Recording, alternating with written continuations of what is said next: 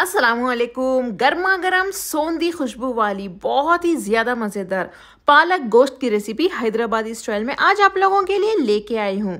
इसे आप सेव करके रख लें, रमज़ान में इसे ज़रूर ट्राई करें। पालक गोश्त बनाने के लिए सबसे पहले एक प्रेशर कुकर ले लें और इसमें डालिए 350 ग्राम गोश्त। ये हड्डी वाला है, बिना हड्डी के भी आप ले सकते हैं। इसमें डालिए तीन टेबल भर के तेल, तीन टेबल भर के अदरक लहसुन का पेस्ट एक टीस्पून हल्दी, थोड़ा सा नमक, अपने टेस्ट के हिसाब से डाल लें। दो प्याज 170 ग्राम है।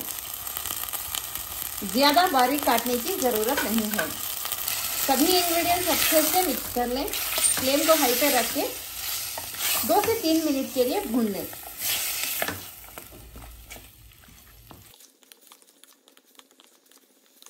गोश्त और प्याज को साथ में अच्छे से भूनने के बाद इसमें एक गिलास भर के पानी डाल दें।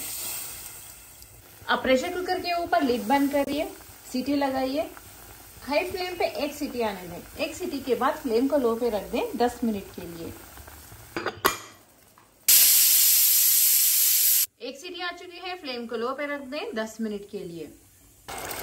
10 मिनट हो चुके हैं, गोश्त हमारा अच्छे से गल चुका है। इसे हम एक दूसरे वेजल में ट्रांसफ़र कर लेते हैं।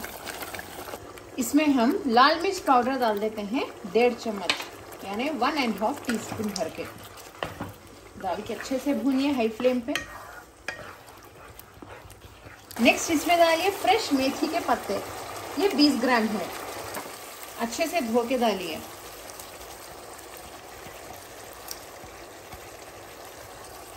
इसे डालने के बाद हमें हाई फ्लेम पे फिर से भूनना है।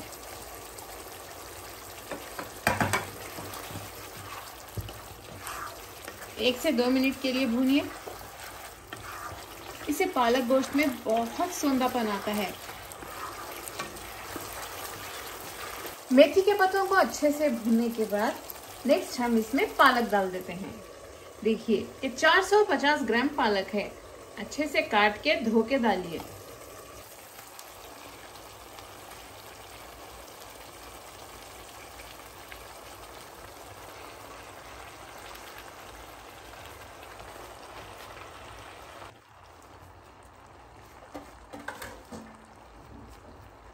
पालक को ऐसे ही दो मिनट के लिए हाई फ्लेम पे पकने दें। एक से दो मिनट हो चुके हैं। अब धीरे से इसे मिक्स कर लेते हैं।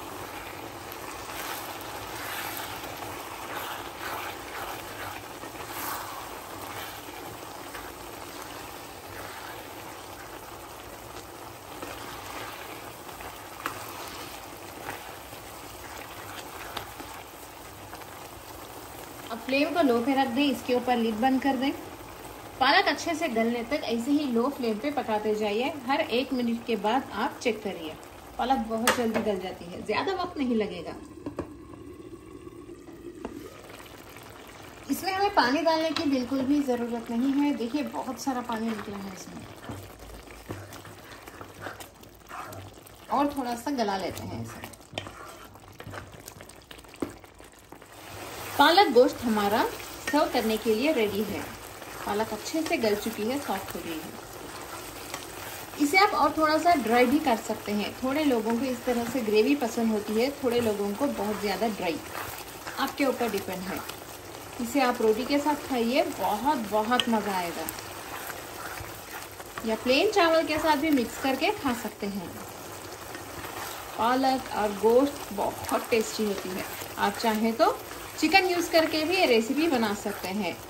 तब प्रेशर कुकर की ज़रूरत नहीं पड़ेगी डायरेक्टली इसी तरह पैन में बना लें फ्लेम बंद कर दें और इसे सर्व कर लेते हैं। ऐसे ही रमज़ान स्पेशल रेसिपीज़ में लेके आती रहूँगी, इसीलिए अभी चैनल कुक विद फेम को सब्सक्राइब कर लें बेल आइकन प्रेस कर दें ऑल सेलेक्ट कर लें।